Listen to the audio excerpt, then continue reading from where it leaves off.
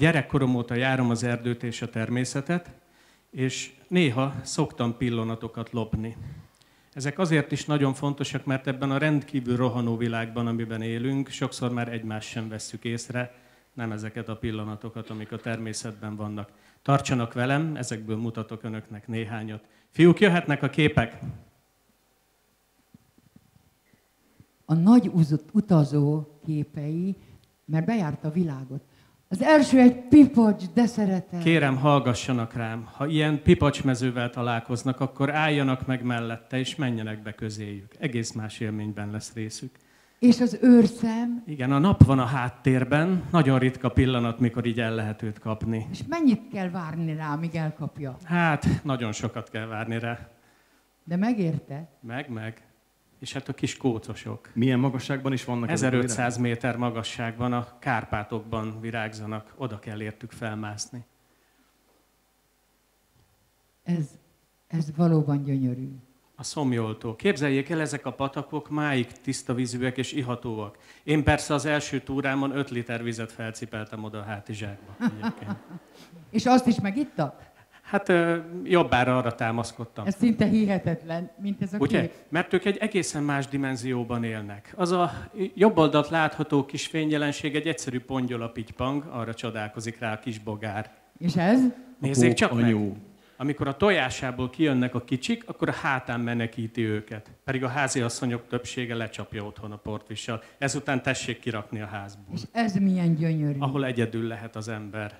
A déli Kárpátok Páring hegységében, 2000 méter magasságban vannak ilyen gyönyörű Mennyi idő alatt jut, jutottál fel Egy, egy nap túra gyalog egy ilyen. Nekem pedig ez a kedvencem, ez fantasztikus édes. Művésznél nagyon szereti. Én mérges voltam rá, mert körülbelül egy fél napig bujócskáztam vele a sziklák között, hogy sikerüljön ezt a képet elkészítenem róla.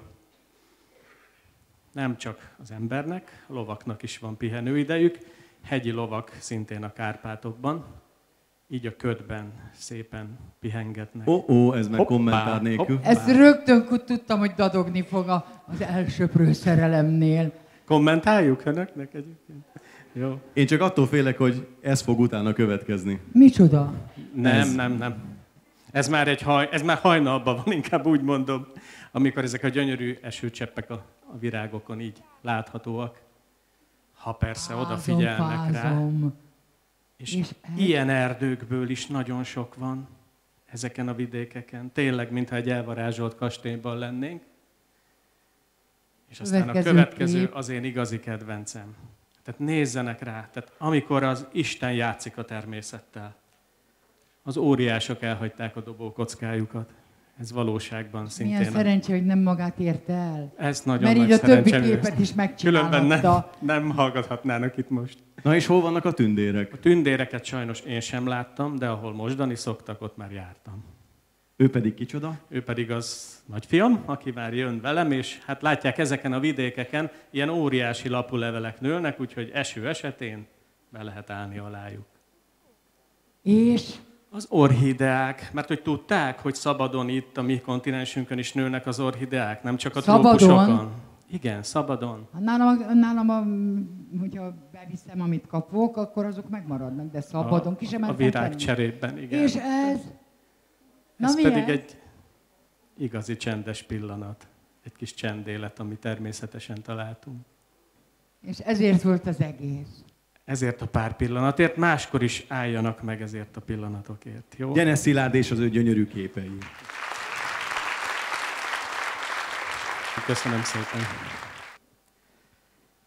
Amit hoztam még önöknek, az egy nagyon személyes élmény. Édesapám visszaemlékezéseiben találtam rá, a történet 80 esztendővel ezelőtt játszódott. Nagyon szerettem olvasni Ehelyütt vallom be őszintén, többször előfordult, hogy a tilosba mentek a libáink.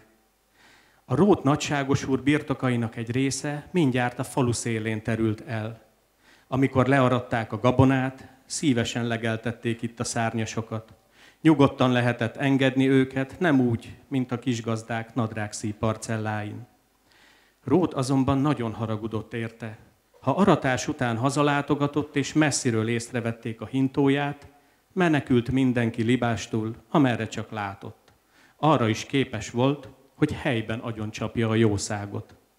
Az egyik nyáron velem is úgy esett, hogy a földjére tereltem a szárnyasokat. Jól messze, ben jártam már a táblában, amikor a falu határában felbukkant a nagy hintó. Amint megláttam, hihetetlen félelem fogott el. Terelni kezdtem őket ki a tábláról, de csak térültek, fordultak, mintha játékos fogócskába kezdtem volna velük, miközben a nagy hintó vészesen közeledett felém. Anyám, későbbi nagy szerencsémre, kosárral a hátán éppen a kopicok felé indult, ahol félhold földünk volt. Ahogy közelebb ért, rögves látta, hogy nagy bajban vagyok. Ő is berohant elém a földre, így már ketten hajtottuk a libákat, de hasztalan. Róthintója mellénk ért, megállítatta azt, kivörösödött arca magából kikelve kezdett káromkodni. Leugrott a hintóról, kikapta az ostort a helyéről, és ütni, csapkodni kezdett bennünket, ütött, amennyi csak ránk fért. Még a felesége is hiába kérlelte, hogy ne bántson minket. Édesanyám azonnal magához húzott, bőszoknyáját rám terítette, karjával átölelt, testével a fejem fölé hajolt, így az ostorcsapásai végig őt érték.